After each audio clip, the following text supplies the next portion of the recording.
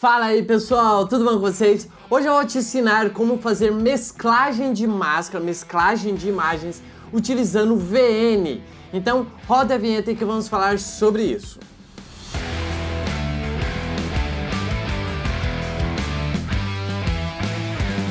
Para quem não me conhece, meu nome é Daniel Rodrigues, sou produtor de material aqui do canal. E galera, o VN literalmente é uma das ferramentas mais completas quando se fala na estrutura mobile, né? Logicamente que ele traz muitos recursos interessantes, mas ainda tem alguns periféricos ainda que deixa a desejar. Mas é que eu não tô falando de coisas ruins, eu vim falar um método de como você fazer modo de mesclagem. Daniel, o que é modo de mesclagem? Não tô entendendo. O que é overlay?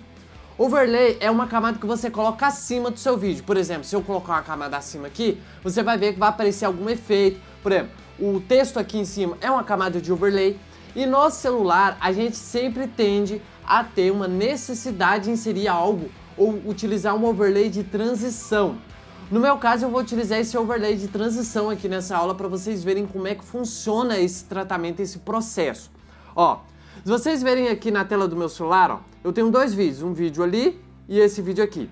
E eu quero fazer uma transição mais suave daqui para cá sem necessidade de utilizar as transições nativas do OVN, que são é, transições não muito interessantes.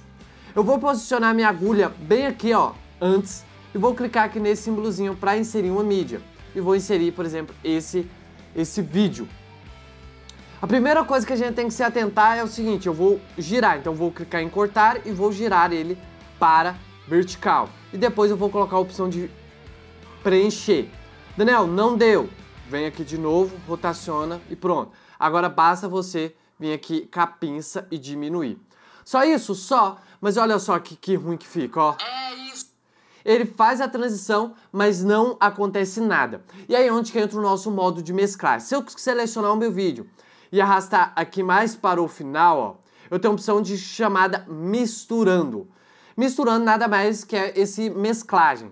Eu tenho vários, ó, escurecer, quente, iluminar, superposição, sobreposição, luz suave. Nesse caso aqui, a gente quer excluir o que? A gente quer excluir os pretos. Então, a gente tem que utilizar o recurso de tela, onde que ele vai apagar os pretos e deixar apenas as altas, as luzes. Então, clique OK. Olha só. É isso. Viu como é que ficou? Olha lá que legal, ó. Ele fez uma transição bem suave e bem tranquila. Lembrando que isso daqui não é um recurso, ah, você tem que fazer assim, assim, assado. Você pode fazer de qualquer jeito.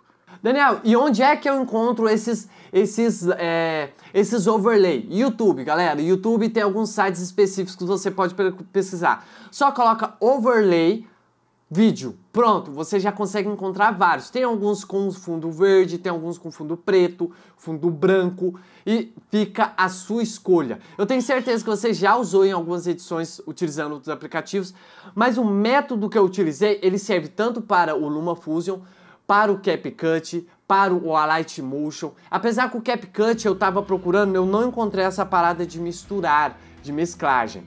Apenas no CapCut, no LumaFusion, no Alight Motion no KineMaster. Então, fica aí a escolha de vocês utilizarem e utilizar isso com sabedoria, lembrando, com sabedoria. Um grande abraço e até a próxima. Fui!